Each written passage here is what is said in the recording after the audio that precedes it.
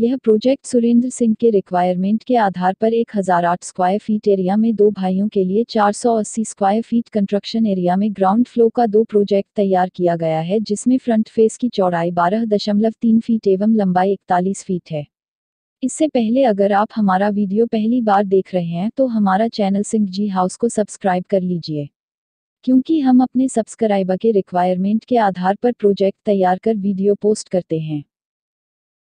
इस प्रोजेक्ट में हमने ग्राउंड फ्लोर एरिया में पोच, एक डाइनिंग हॉल, किचन एवं एक बेडरूम का नक्शा तैयार किए हैं, जिसमें कॉमन टॉयलेट दिया गया है। सब्सक्राइबर के रिक्वायरमेंट के आधार पर फ़र्स्ट फ्लोर में जाने के लिए किराए पर देने के उद्देश्य से पोच से स्टेयर दिए हैं। अगर आपको फ़र्स्ट फ्लोर किराए पर नहीं देना है तो आप स्टेज डाइनिंग हॉल से दे सकते हैं।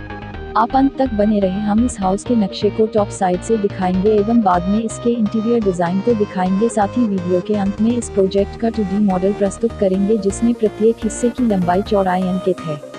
इस प्रोजेक्ट में हमने वेंटिलेशन के लिए सेंटर में स्पेस छोड़ा है, जिससे आपको प्रत्येक रूम किचन टॉयलेट एवं फ्रंट फेस से डाइनिंग हॉल में प्रॉपर लाइट मिलेगा।